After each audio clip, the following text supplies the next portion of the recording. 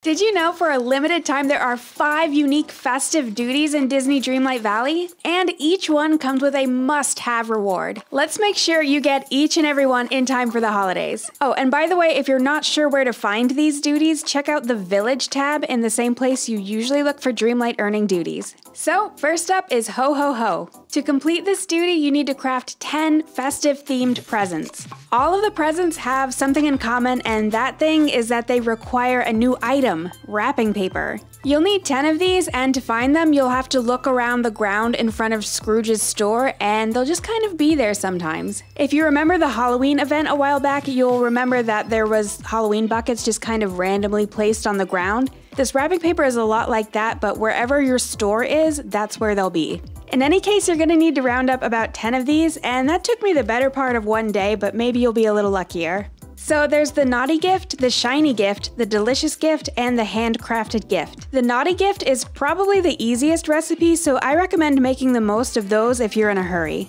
In any case, once you've made all 10, all you have to do is give them out around your village, and I recommend giving the coal to the villains because wrapping up coal and giving it to a villain's kind of funny, right?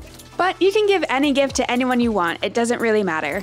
Then, all that's left to do is collect on your duty, and you'll be rewarded with this pile of gifts.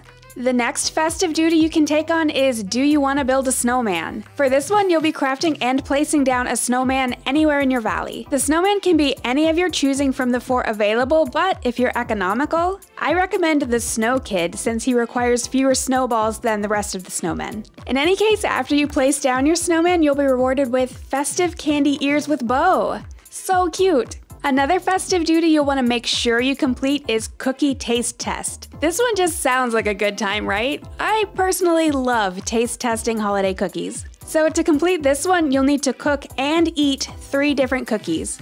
As far as I know, there are five cookie recipes in the game. So, personally, I went with the three cookies that have the fewest ingredients. If you want to do that, those are biscuits, which need one wheat, one sugarcane, and one butter, Minnie's gingerbread cookies, which need just one wheat and one ginger, and finally, My Hero cookies, which need one wheat, one vanilla, and one butter. Otherwise, you could make chocolate chip cookies or Wonderland cookies. Chocolate chip cookies are one wheat, one sugarcane, one butter, and one cocoa bean. And Wonderland cookies are one wheat, one vanilla, one sugarcane, and one butter. And sadly, no cheeses. Whichever three you choose to make, just don't forget to eat them once you're done. And after you do, you'll be rewarded with the festive candy ears. This next task is pretty unique. Even fish are festive. So for this one, you'll need to catch one of each of the new five festive fish around the valley.